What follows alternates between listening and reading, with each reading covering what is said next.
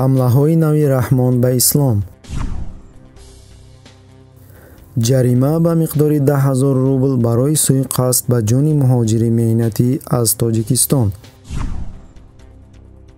Хитоиҳо литсензияи навбатии оиди коркарди кони тилло дар тоҷикистонро ба даст дароварданд президенти тоҷикистон эмомалӣ раҳмон дар вохӯрӣ бо намояндагони ҳамҷамъият дар шаҳри душанбе ба дини ислом ва қадриятҳои он ҳамлаи навбатӣ кард як гурӯҳи маъдуди занону духтарон диндориро на дар ботин балки дар зоҳир тасаввур карда бо пӯшидани либосҳои сиёҳу торик арзишҳои фарҳанги миллии моро поймол ва фазои маънавии ҷомеаро тира сохта истодаанд. Ҳолон ки худоро ба ақл мешиносанду бо қалб мепарастанд на бо сару либосу сатру ҳиҷобу салаву риш иброз намуд ӯ.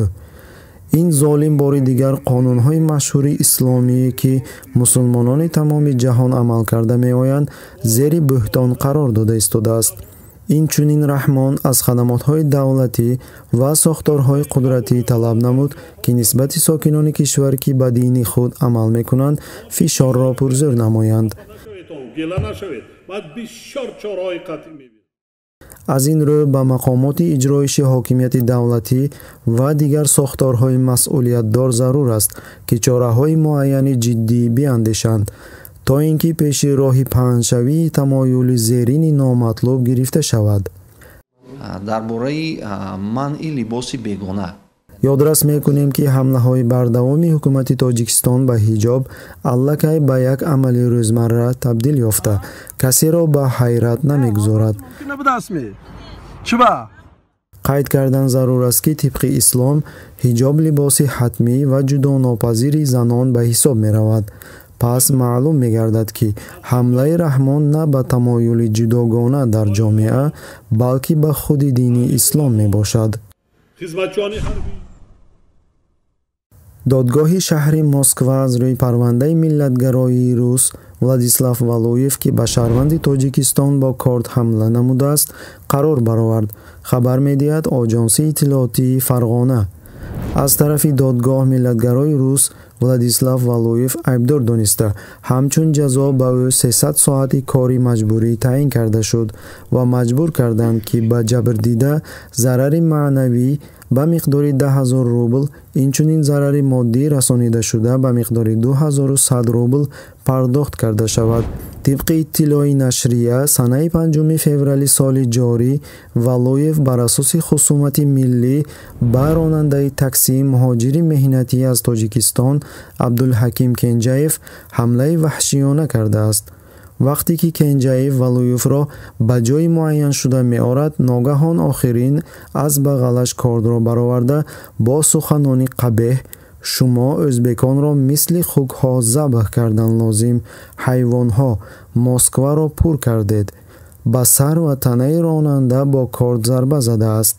ҳамагии зарбаҳои валуев шаш маротиба ба рӯй пешона таги чашм ду зарба ба дастонаш ва як зарба ба тахтапушт расидааст менависад нашрия. Дар натиҷаи ҳамла шаҳрванди тоҷикистон сахт маҷрӯҳ гаштааст. Ҷинояткор ба рӯи абдулҳаким бо корд зарба зада аз лаб то чаккаи рӯй пора кардааст. Алҳол ҷабрдида даҳонашро кушода наметавонад ва бо як азоб гап мезанад. Инчунин функсияи хоидани манаҳ ҷоғ низ вайрон шудааст ҳимоятгари ҷабрдида магомедшамил шабанов мегӯяд ки парвандаи ҷиноӣ тибқи моддаи 115 расондани зарари сабук ба саломатӣ кодекси ҷиноии федератсияи русия санаи 10 марти соли 2017 оғоз гардидааст.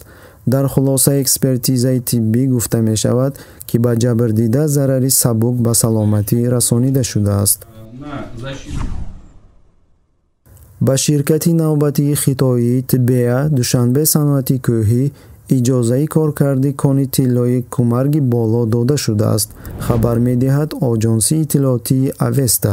Такя ба манбаи худ дар сари идораи геологияи назди ҳукумати ҷумҳурии тоҷикистон. Пас аз гирифтани иҷозатнома ширкати чинӣ барои коркарди кони тилло шурӯъ мекунад қайд намуд манбаъ дар саридораи геологияи назди ҳукумати ҷумҳурии тоҷикистон. инчунин ӯ гуфт қайд намудан зарур аст ки ширкати чинии тибеа бо истифода аз технологияҳои нав корҳои тадқиқотии геологӣ гузаронидааст аз ин лиҳоз дар рафти коркарди кон ширкати зерин технологияи муосирро истифода мебарад ки бо ченаки дақиқи воло таркиби маъданро ва инчунин дигар бойгариҳои зеризаминиро низ муайян мекунад. Ба гуфтаҳои манбаъ ба дастории иҷозатнома барои коркарди кон сохтмони фабрикаи тозакунӣ ва коркарди маъданро низ дар бар мегирад тибқи иттилои геологони тоҷик аз рӯи ҳисоби пешакӣ захираи тилло дар кони кумарги боло 50 тоннаро ташкил медиҳад. инчунин қайд кардан зарур аст ки дар кони зерин ғайр аз тилло дигар минералҳои қиматбаҳо низ вуҷуд дорад ки ширкати чинӣ онро низ коркард мекунад мушоҳидон қайд мекунанд ки ғасб намудани конҳои бойгариҳои тоҷикистон аз тарафи ширкатҳои чинӣ афзоиш меёбад. Алҳол аз нисф зиёд коркардҳои тилло дар тоҷикистон ба ширкатҳои чинӣ мутааллиқ мебошад. Ғайр аз ин дигар ширкатҳои аҷнабӣ мавҷуд аст ки бо иҷозати раҳмон бойгариҳои қаҳри заминие ки ҳаққи уммат мебошад ғорат мекунанд